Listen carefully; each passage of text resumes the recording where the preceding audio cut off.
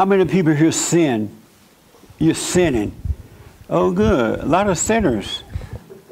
And why? And why? Why are you sinning? Hold on for a minute. This your first time here? Yeah, yes, sir. Oh, okay. How old are you? 25. And you sin, right? I do. Uh, I hate to ask what kind of sin. I'm a little nervous. Uh, it, as long as it's not too graphic, what type of sin you commit? Well, I mean, anytime you fall short of a standard, especially as far as God's standards, it's a sin. What is And- the standard?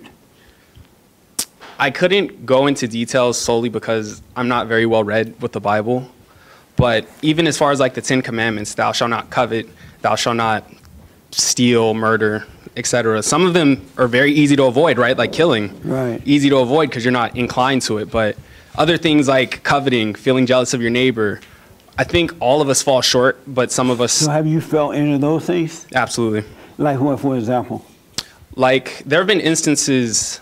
I'm a dancer, and so You a dancer? yes, sir. You ever heard of Joel? Yeah, yeah, yeah, yeah. That's actually how we met. We connected through dance. Oh yeah, right on. And so there have been instances where one person's success, seeing someone succeed, almost feels like a personal attack where it's like, what are they doing that they're so deserving of it that I'm not deserving of it? Uh, you know, yeah. where someone else's success like directs your attention to your shortcomings and your failure. And that's coveting, that's jealousness. And I don't think it's an uncommon emotion. And I think that I'm you just don't think it's uncommon? What do you mean? yeah, mean? I think many people can relate to that. Oh, And it's just it's just that for all the people that can relate to it, very few are willing to admit it. Right. Yeah. so- Amazing. Um, this your first time here? yes, sir. Are you close to your father? Kind of. Like, We, we could be closer. We could be closer. And why aren't you close to him? We just have different communication styles and different philosophies. Such as?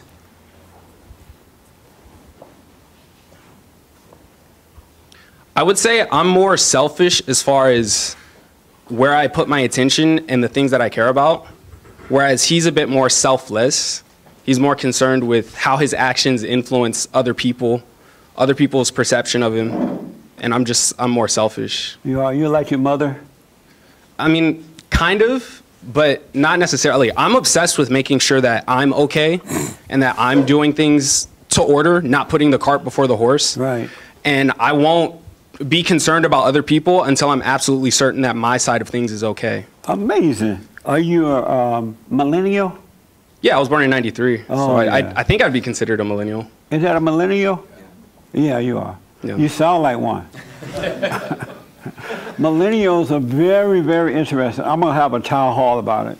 Yeah. On my on the Fallen State, I'm gonna have invite a bunch of millennial men and women, and we're just gonna have an open dialogue about it. But I noticed that they're very talented on one hand, but on the other hand, they're very selfish and and they can't take criticism.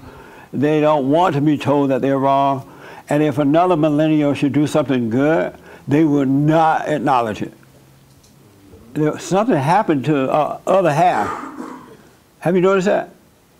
I have, but that's one big thing. Again, I'm, I'm more concerned with myself. And so I've made myself open to criticism. If I'm wrong on something, if I'm doing something incorrect, Yeah. I'm welcoming criticism. I want to hear about it because Right. you might see something that I don't see. On the other hand, I'm not going to criticize you. I don't care what you're doing, frankly. Like, but if you see something I'm doing wrong, please tell me. I want to improve. I want to better myself. But you don't care what the other person's doing. Correct. That's I, amazing. yeah, I just, You just love yourself?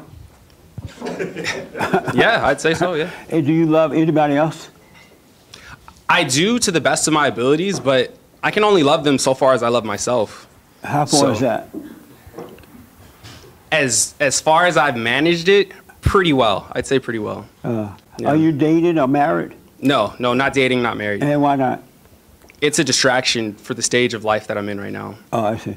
Yeah. Oh, okay. I've tried managing dating and it just it takes away from my focus. You Like for all the effort I'm getting in, I'm Uh-huh. not getting much out of it in return. Oh, you put a lot of effort into dating? 100% I used to, yeah. And why? I felt really insecure as though not having a partner meant that there was something wrong with me. A partner? A partner, yeah. Oh, you date men? No, women. Date. I date women. What do you mean by partner?